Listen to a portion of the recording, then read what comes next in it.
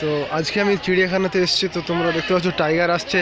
এই দেখো টাইগার আসছে এইখানটায়। এই দেখো, নিচে। এই আসছে টাইগার তোমরা দেখতে পাচ্ছ, পুরো পুরো মানুষেরই মতো।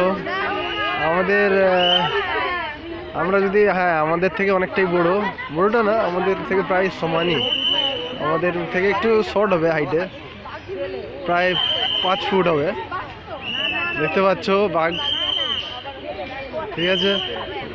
এবং বাঘটা হা করে আছে। পাঁচ ফুট হবে এবং বাঘের যে শক্তি সেখানে এটা ফুটে ফুটে উঠছে। সবাই দেখছ ঘুরে আছে। চিড়িয়াখানাতে আজ প্রচুর ভিড়।